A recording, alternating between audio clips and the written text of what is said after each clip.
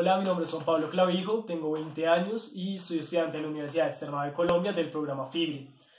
Eh, me postulo para cargo de presidencia, dado a que ya tengo, pues, desde mi punto de vista, una buena historia con los modelos de la ONU de aproximadamente 8 años, con más de 16 modelos, esto ya sea como delegado o como mesa, ya a nivel nacional o internacional, dado que también fui parte del equipo de la ONU en la escuela Beaumont High School en California.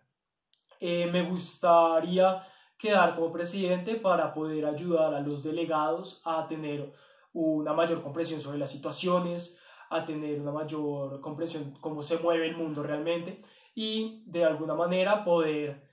ayudar a que el debate y el comité se mueva de una manera mucho más didáctica para que la gente lo pueda disfrutar mucho más.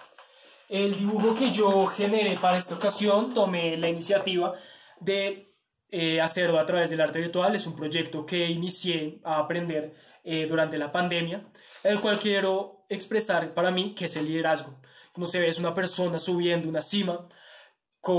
llevado la mano de muchos, una cadena de personas que se nota que están ayudándose uno a los otros para lograr el mismo logro,